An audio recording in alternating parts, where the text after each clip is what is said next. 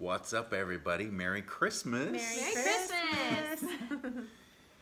Well, here we are tonight. Uh, blessed to come to you and uh, just share with you a little bit of joy of the Christmas holiday.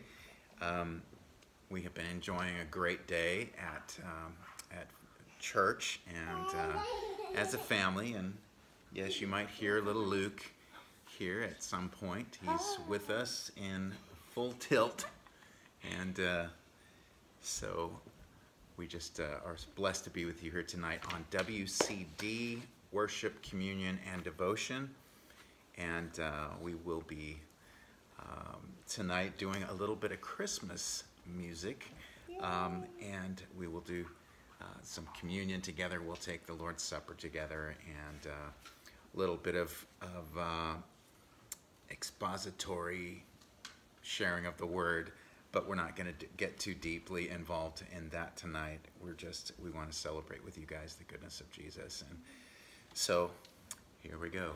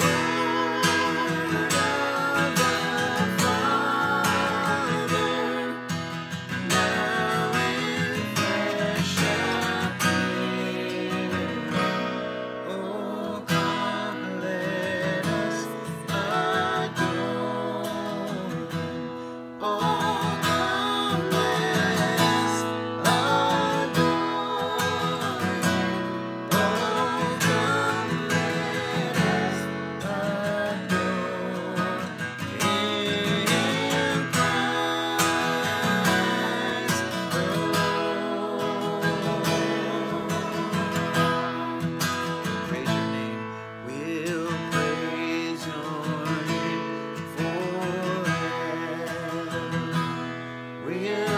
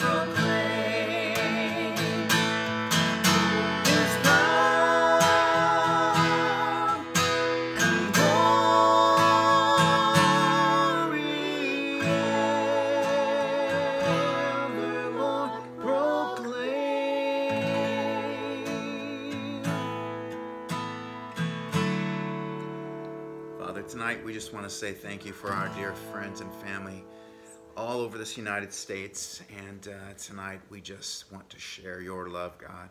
And uh, we want to receive it back, of course, in some way, some shape, some fashion. But Lord, we're not concerned about that right now. We're we want to give it away, Lord, and help us all to have that kind of mentality this year, this holiday season. May we all realize we have you inside, and may we be quick to give you away to those that need you, Lord.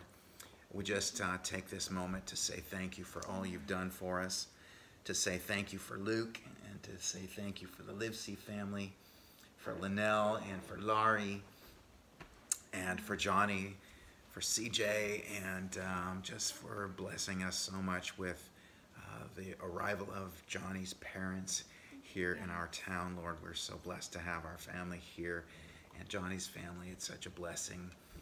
And Nicole, his little sister. And just pray your blessings upon all of our friends tonight, Lord. May we reach out to you during this crazy time. May we be fast to realize that our peace is in you mm-hmm. and fast to realize, Lord, your peace means everything. Mm-hmm. When the whole world is falling apart, we can have peace and we can have your joy in our hearts just because of who you are, Father, and who you mm-hmm. came to be in our lives and who you sent Jesus to be for us. We love you. We thank you. We receive that gift of Jesus tonight. And we all say amen. Yes. Uh, well, I am just uh, so happy to have Lynelle and Laury here tonight with me, of course, and Luke.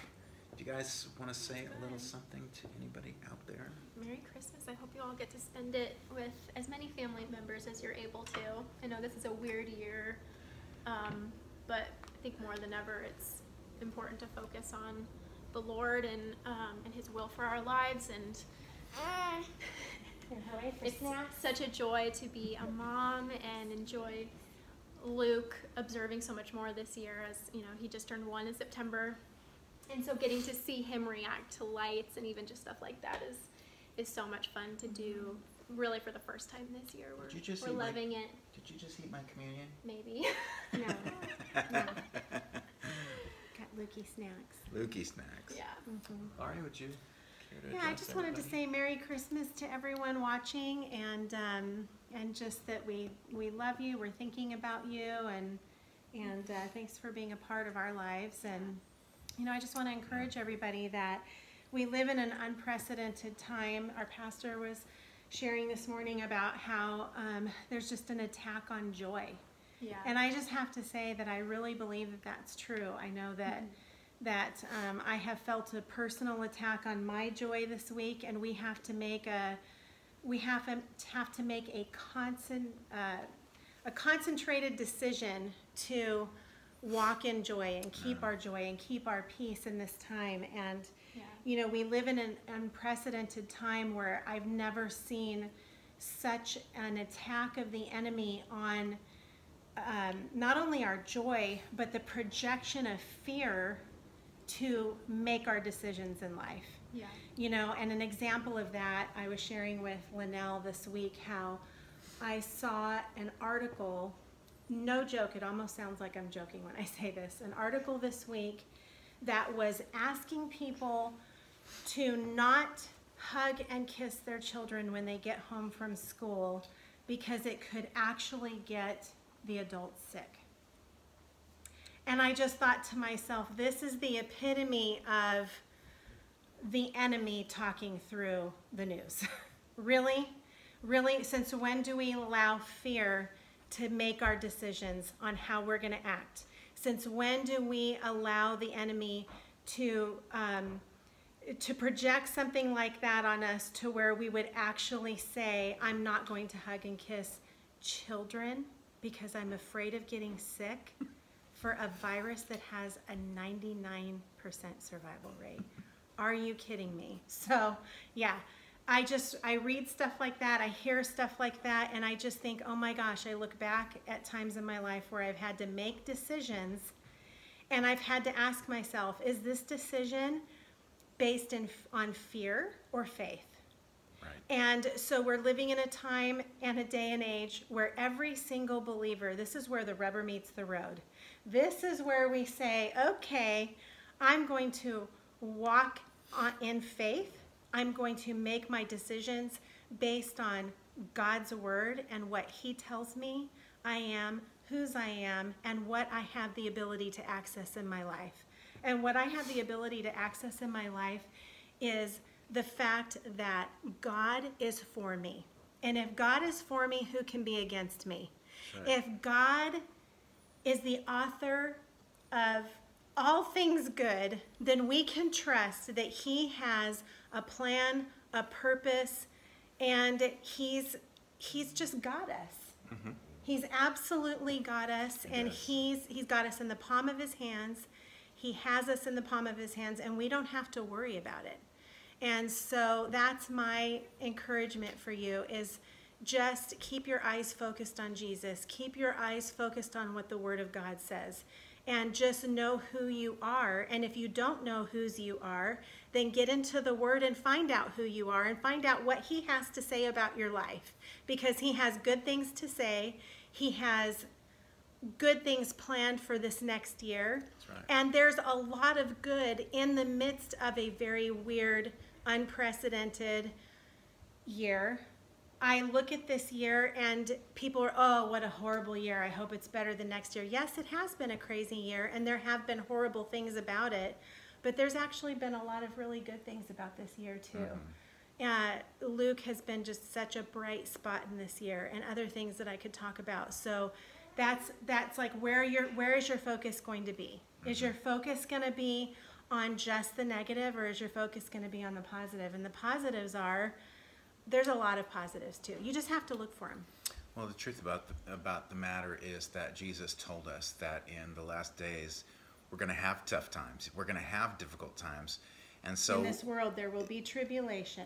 exactly, there's going to be persecution. I mean, let's be real. Mm-hmm. Uh, times may not get like they used to be. I don't know. I'm welcoming them if they do come, Mm-hmm. but I also remember so much of the word Mm-hmm. preparing us for difficult times, prepare, preparing us for times when there was ungodliness in our country. Mm-hmm.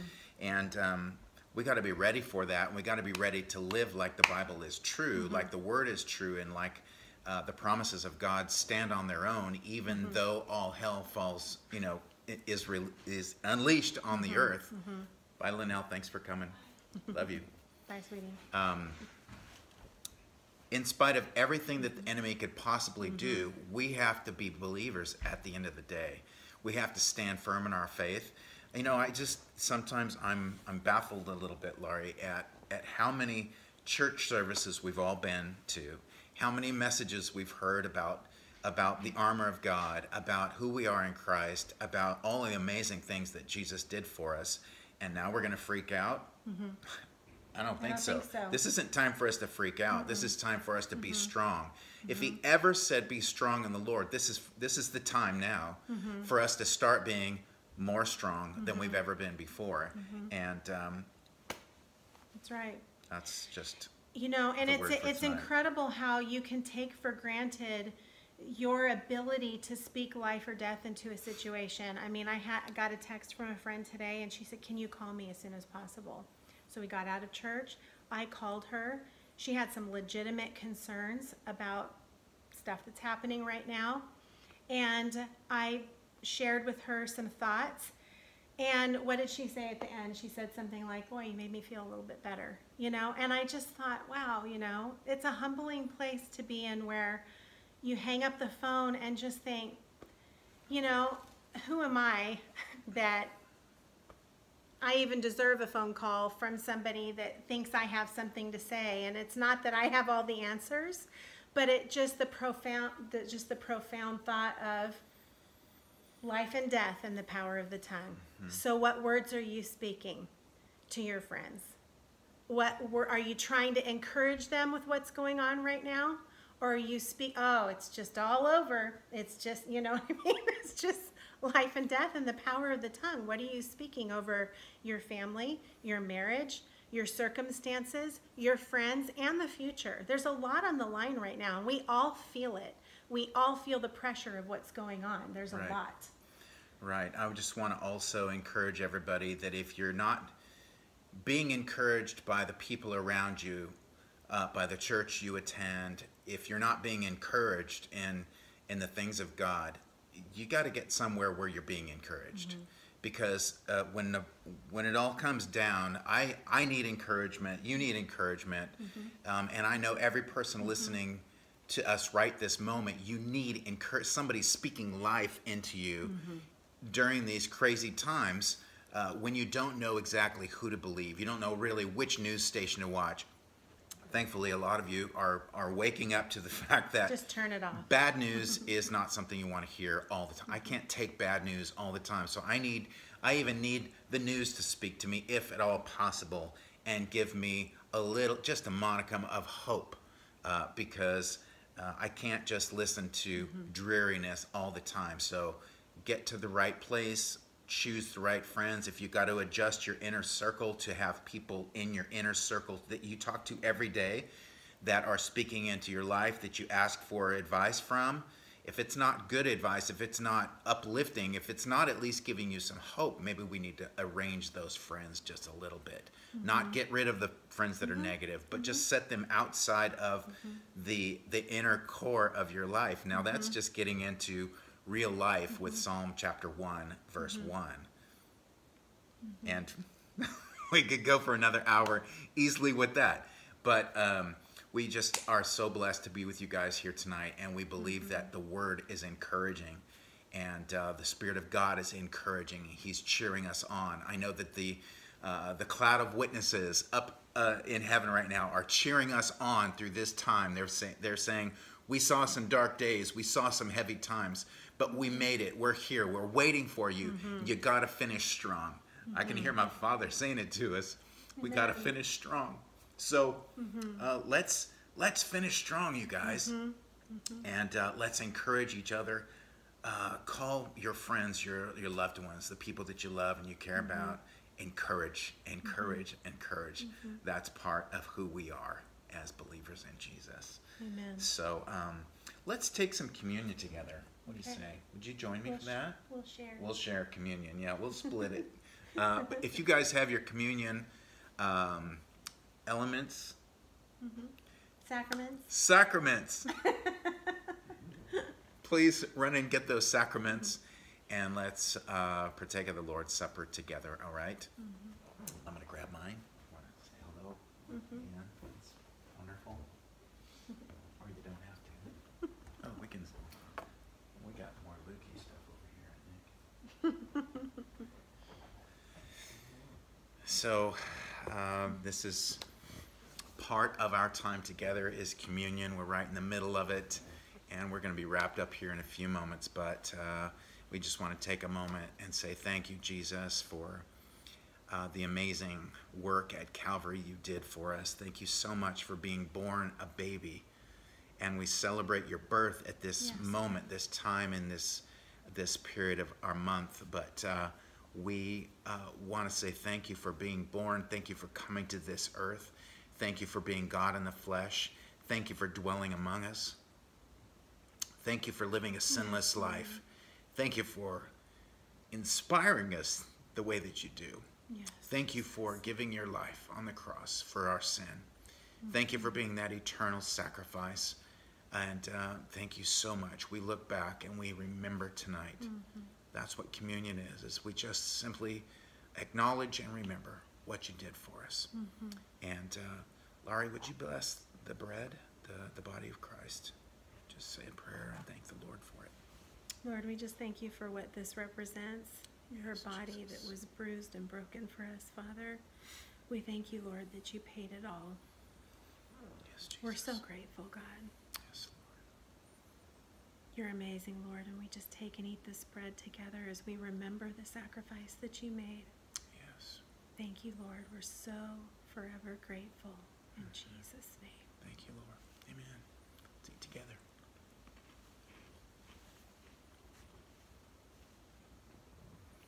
And Lord, we take this sacrament of your blood tonight. We remember the blood that was spilled for us for the remission of our sins. We thank you for it, the fact that it ratifies the new covenant. And uh, we thank you for the blood that was shed from your crown of thorns uh, you're scathed back uh, from the beating, from the, the wound of the spear in your side, from the nails in your hands and your feet. Thank you that blood was not shed in vain. It's still good. That redemption is still good. That healing is still good. That provision that is, is ours is still good. And Lord, tonight we remember and we love you. Thank you. Thank you. Let's drink together. Thank you, Jesus. Amen. Thank you, Jesus. Somebody out there say, Praise the Lord. Amen. Amen. Thank you so much, honey. Mm-hmm. I want to do one more song for everybody.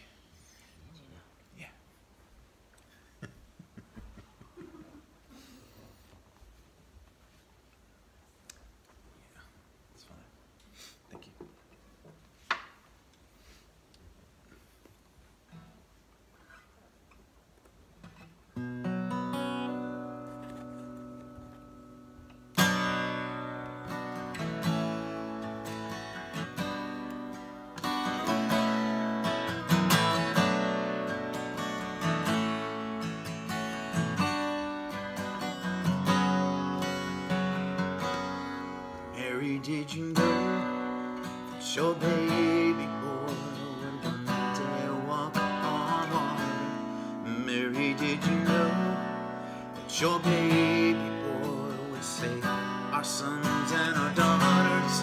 Did you know that your baby boy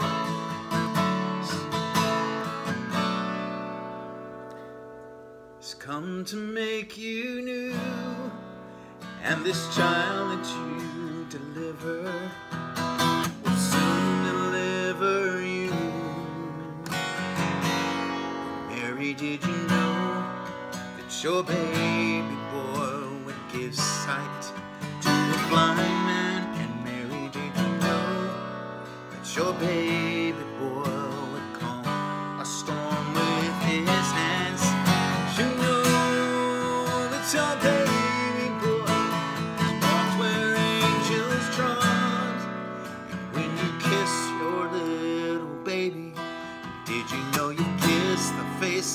God?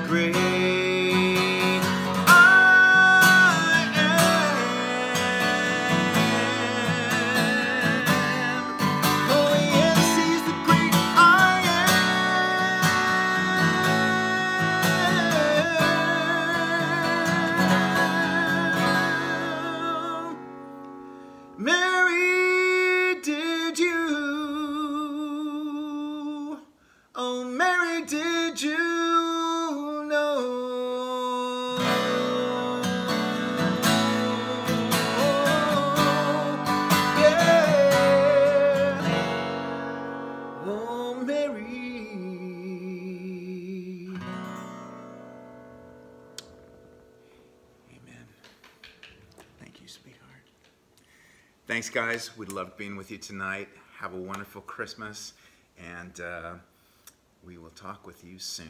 Be strong. If you need me, give me a call, okay?